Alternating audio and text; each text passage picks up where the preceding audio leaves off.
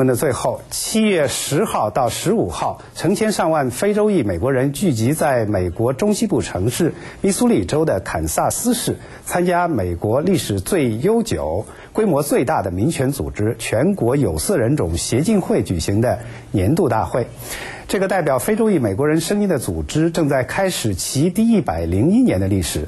如今，该组织在为少数民族人口争取获得更好的工资待遇的工作和教育机会的同时，也在努力吸引年轻人。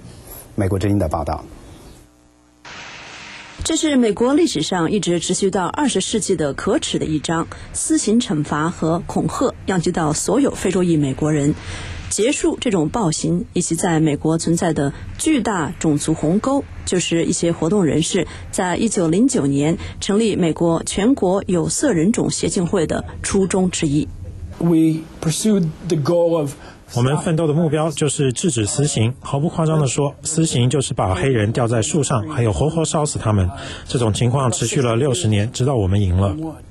本杰明·托德·杰罗斯是现任美国全国有色人种协进会的主席。二零零八年，他三十五岁时，成了这个历史最悠久、规模最大的民权组织最年轻的领导人。我们向美国最高法院提出了开创性的诉讼，废除了美国的种族隔离制度。这是全国有色人种协进会取得的最大胜利。布朗诉教育委员会案是最高法院1954年做出的里程碑式的裁决。这项裁决击垮了长达六十年之久的隔离但是平等的信条，结束了公立学校的种族隔离。泰德·肖是全国有色人种协进会法律辩护基金的主任律师。布朗诉教育委员会案几乎推翻了剥夺非洲裔美国学生平等教育机会的白人至上的系统。从选举权到教育权，全国有色人种协进会一直在倡导社会正义，为非洲裔美国人发出了重要的声音。该组织不断壮大，通过在教堂招募成千上万的成员，激励他们支持1964年的民权法案。这项立法废除了试图维护种族隔离的法律条文。And the image award goes to Jennifer Hudson.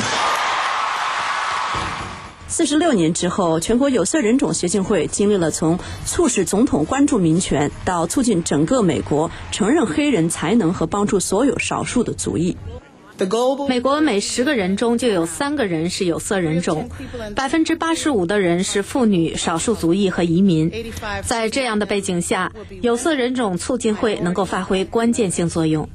罗斯林·布洛克是全国有色人种协进会董事会主席，她今年三十六岁，是担任这一职务的第一位女性，也是最年轻的。她说，自己的目标之一就是招募更多的年轻人，使他们成为民权和人权活动人士。我们希望在这一代年轻人心里种植下乐观的希冀，让他们积极追求参与这个国家的变革。美国之音电视报道。